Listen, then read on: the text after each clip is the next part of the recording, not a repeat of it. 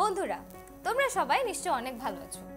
তোমাদের কি মনে আছে, আমরা অনেক ছোটবেলায় যখন মুভি দেখতাম দেখতাম যে কেউ কোনো একটা অপরাধ করেছে, তখন তাকে একটা আদালতে নিয়ে গেছে। এবং আদালতে নেয়ার পরে একদম অনেক উঁচু একটা ডায়াসে একজন লোক বসা, যার হাতে এরকম একটা যন্ত্র এবং তিনি একটু পরপরটাতে বাড়িতে তো আমরা তখন থেকেই জানি, তিনি হচ্ছেন যে একজন বিচারপতি বা জাজ।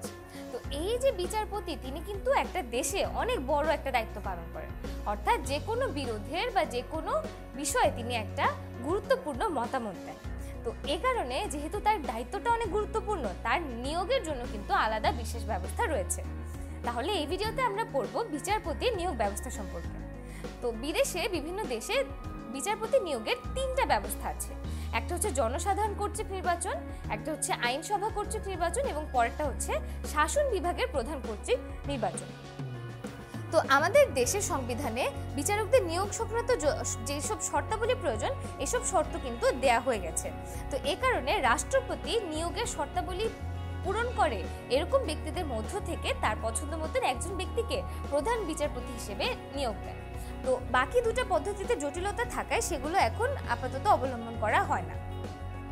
তো আমাদের দেশে রাষ্ট্রপতি প্রধান প্রধান আদালত এবং উচ্চ আদালতের আমাদের বিচারপতি নিয়োগ দিয়ে থাকেন এবং অধস্তন যে আদালতগুলো আছে, সেগুলো হচ্ছে বিভিন্ন প্রতিযোগিতামূলক পরীক্ষার মাধ্যমে তারা এসব বিচারপতিরা নিয়োগ পেয়ে থাকেন। তাহলে আমরা কি দেখলাম যে তিনটা পদ্ধতিতে বিচারপতিকে নিয়োগ করা যায়?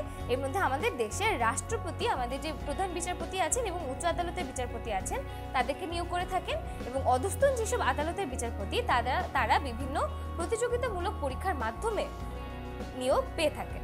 এখন তোমরা আমাকে একটা প্রশ্ন উত্তর দাও।